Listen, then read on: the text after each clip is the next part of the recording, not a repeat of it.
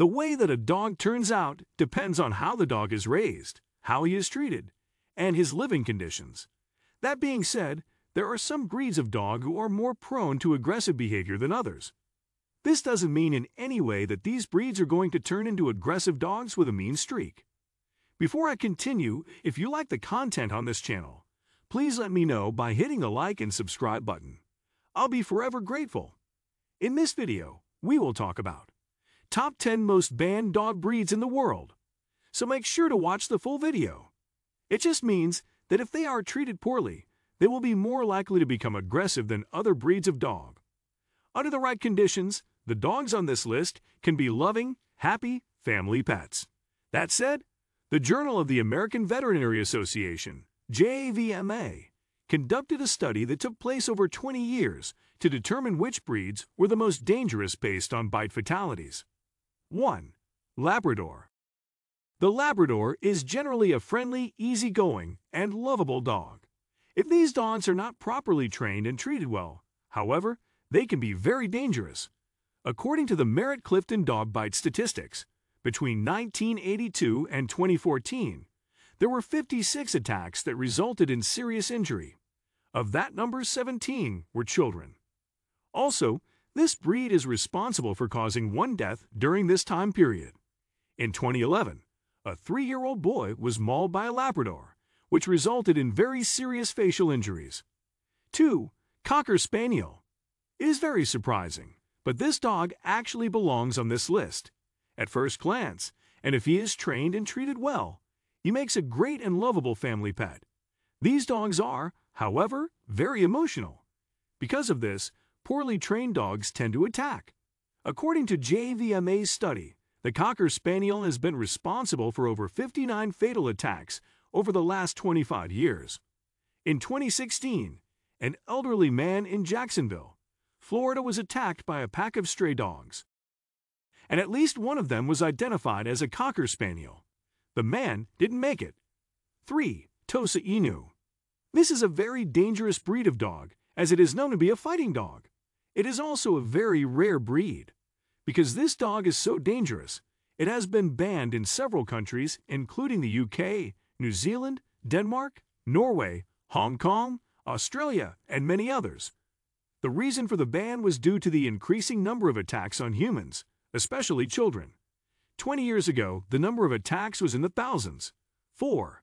The Bull Mastiff. The Bull Mastiff is a very large, very muscular dog. He can weigh up to 130 pounds, and he can grow as tall as 27 inches.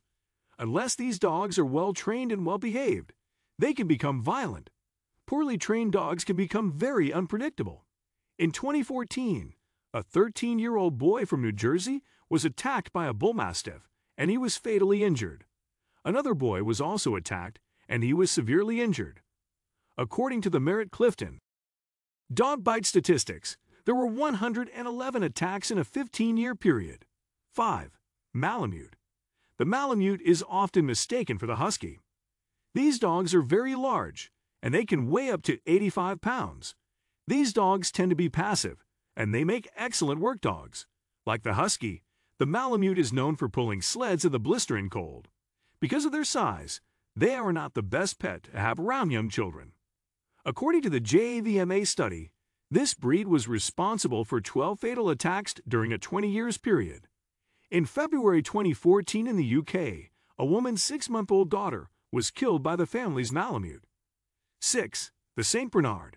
If you have ever seen the Beethoven movies, you think of a St. Bernard as an intelligent, protective, and loving family pet. This is actually true. This breed of dog comes from the Italian and Swiss Alps and has become famous for his ability to rescue hikers who became stranded on the snowy mountains. While these dogs can be friendly and protective, they can also be very territorial. If you want to keep a St. Bernard from growing up and displaying territorial and aggressive behavior, you need to start socializing him with strangers and other animals at a young age. As long as this breed is trained properly, he can be a great dog. If he isn't, he can be potentially dangerous due to his size and aggression. 7. The American Bulldog. The American Bulldog is incredibly muscular, and he has a stocky build. He can weigh between 60 to 120 pounds, which packs a great deal of power behind his muscular body. He was originally bred to work on a farm where he would help his master catch and hold cattle and wild boar. He would also kill the vermin that tried to take over the farm, and he would guard his master's property. Today, he is more of a family dog. Like any dog, with proper training, he will be friendly. He is a very confident dog, which can cause him to be stubborn at times. He also has a very emotional personality at times. 8. The Great Dane. The Great Dane is an incredibly large dog. He actually holds the record for being the tallest dog in the world, standing at 44 inches. Originally, he was bred to hunt deer and wild boar. Over the years, being a hunter has become a genetic trait for this dog. If he is trained properly, the Great Dane can be an amazing family dog. These dogs typically love children, and many will allow small children to ride on their back like a horse. If these dogs are not trained properly, however, their massive size can make them very dangerous. If the dog becomes aggressive, and he has his height and his weight of up to 120 pounds behind him, you could find yourself in a very scary situation. 9. Akita. The Akita originally came from the mountains of Japan. He is a very strong, dominant, and independent breed. When properly trained, these dogs can be very affectionate and well behaved. They can, however, be very territorial and awkward around strangers. He is a very muscular dog and he can weigh up to 100 pounds. Considering his size and his territorial behavior, he can be very dangerous if he is not properly trained and cared for.